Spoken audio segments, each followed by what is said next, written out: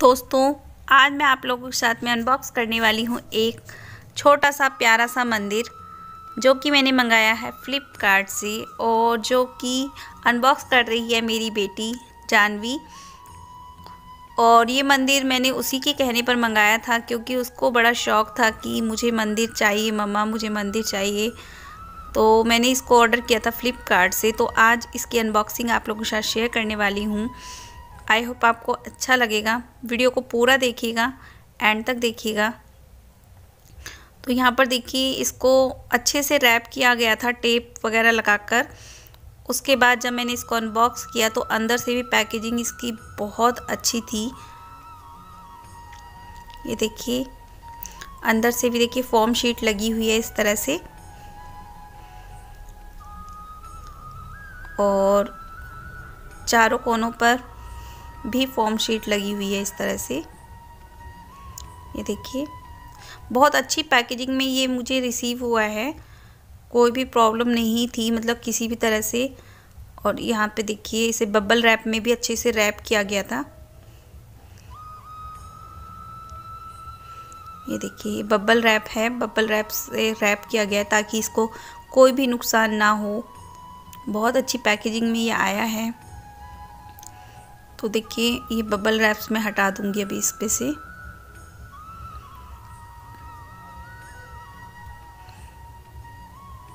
तो ये form sheet मैं अलग हटा दे रही हूँ क्योंकि ये फॉर्म शीट अभी काम नहीं है यहाँ पर। और ये देखिए बबल रैप मैंने हटा दिया है।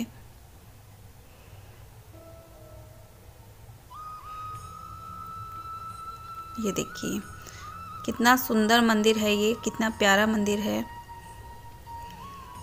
बिल्कुल मार्वल लुक लग रहा है इसका। और अभी देखिए यहाँ पर ना दो पेज कसे हुए हैं। ये पेज मैं हटा दूँगी इसमें से।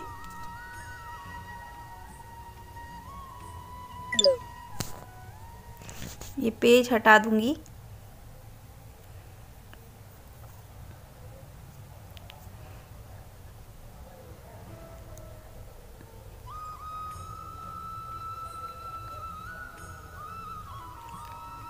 ये देखिए पेज हटा दिए हैं, पेज निकले हैं इसके अंदर से दो, एक इधर से, एक उधर से।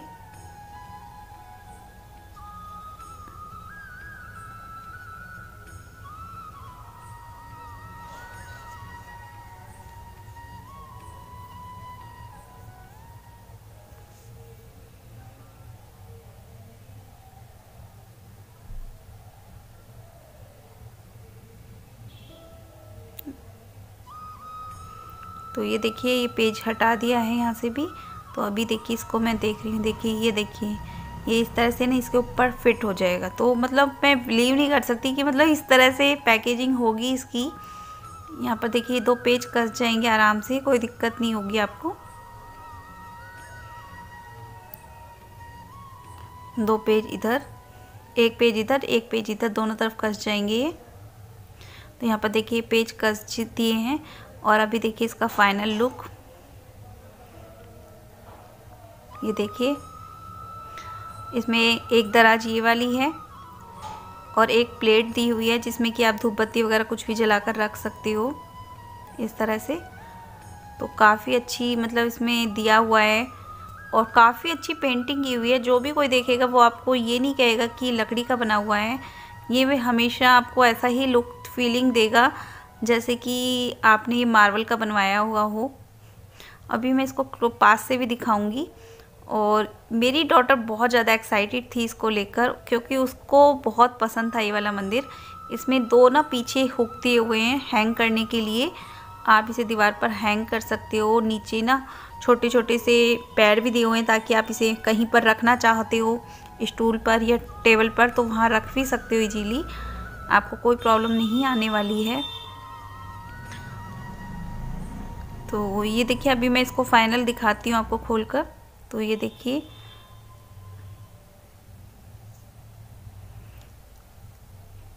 ये देखिए, इसकी एम जो इस पर पेंट हो रखा है ना पेंट बहुत अच्छा हो रखा था।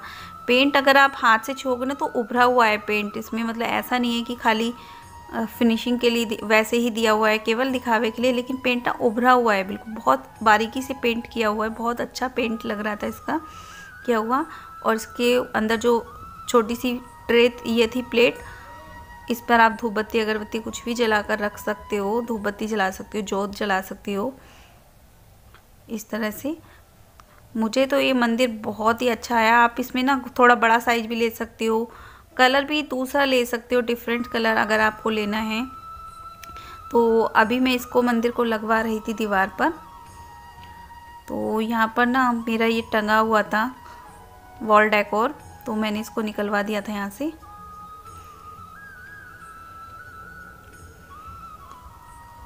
और यहाँ पर देखिए दीवार पर मैं लगवा रही हूँ। और एक बात और मुझे आप लोगों के साथ बतानी थी कि मेरे पास घर में मतलब इतनी ऐसी जगह नहीं थी कोई भी कि जहाँ पर मैं मतलब साउथ की तरफ़ या फिर मतलब कहते हैं ना कि या तो पूरब की दिशा में लगना चाहिए या उत्तर की दिशा में लगना चाहिए मंदिर, लेकिन मेरे घर में ऐसी जगह नहीं है। कि मैं इस तरह से मंदिर लगा सकूँ। तो मैंने एक दो लोगों से पूछा था तो उन्होंने बोला था कि ऐसा ज़रूरी नहीं होता है कि आपको मतलब इसी तरह से रखना है मंदिर। क्योंकि कुछ लोग किराए के घर में भी रहते हैं, कुछ लोग फ्लैट्स में भी रहते हैं तो उसमें ऐसा कुछ डायरेक्शन वगैरह का इतना ज़्यादा नहीं हो पाता है। तो आपका मन में श्रद्धा होनी चाहिए, विश्वास होना चाहिए और आप अपनी श्रद्धा के अकॉर्डिंग जहाँ भी आपको स्पेस लगे, वहाँ आप रख सकते हो मंदिर। मेरे पास से दो ही कमरे हैं और एक रूम में मतलब दोनों ही रूम एक तरह से बेडरूम की तरह यूज़ होते हैं तो कहते हैं बेडरूम में मंदिर नहीं होना चाहिए। और ये रूम के बाहर जो स्पेस है, इसमें भी बस यही वाली वॉल है, एक एक वॉल पर किचन है मतलब एक वॉल की साइड किचन है और एक की तरफ़ विंडो है। तो इसी वजह से मेरा मंदिर इसी वॉल पर फिट बैठ रहा था। बाकी आप लोग मुझे बताना कमेंट बॉक्स में कमेंट करके कि मैं कहाँ रखूँ। तो यहाँ पर देखिए मेरे भगवान जी सेट हो चुके हैं। तो ये मेरी डॉटर कर रही है यहाँ पर पूजा अभी। उसको बड़ा मतलब मन था कि मैं पूजा करूँ, मैं पूजा करूँगी मंदिर में। तो इसमें मंदिर में मैंने बहुत ज़्यादा भगवान जी नहीं रखे थे क्योंकि मुझे ना इसमें भीड़ भाड़ नहीं करनी थी। वैसे तो मैं अपनी वैसी पूजा तो जब भी कभी होती है, जैसे कोई व्रत होता है या फेस्टिवल होता है तो बैठ कर ही करनी होती है पूजा तो वो तो मैं अपनी अंदर ही कर लूँगी बैठ कर चौकी वगैरह लगा कर लेकिन ये डेली की पूजा के पर्पज़ से लिया था मंदिर, और उसमें ना साइड में मैंने दीवार वाला नहीं लिया था, क्योंकि उससे ना घिच पिच हो जाती है मंदिर में। मैंने साइड से भी ओपन लिया था, इसीलिए मंदिर, विदाउट दरवाजे। तो आप लोग बताना मुझे कमेंट बॉक्स में कमेंट करके कि कैसा लगा आप लोगों को ये मंदिर। तो यहाँ पर देखिए मेरी डॉटर ने धूप बत्ती जला दी है और वो अभी देखिए आरती भी करने वाली है और यहाँ पर ना मेरा बेटा भी खड़ा हुआ था, वो भी बहुत ज़्यादा परेशान कर रहा था उसको पूजा करते वक्त।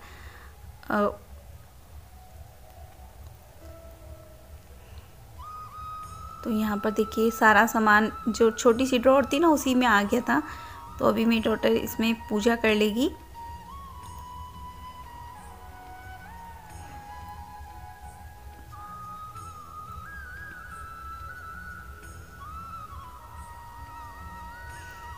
तो आप लोगों को ये मंदिर कैसा लगा? और इसका लिंक मैं नीचे डिस्क्रिप्शन बॉक्स में दे दूँगी।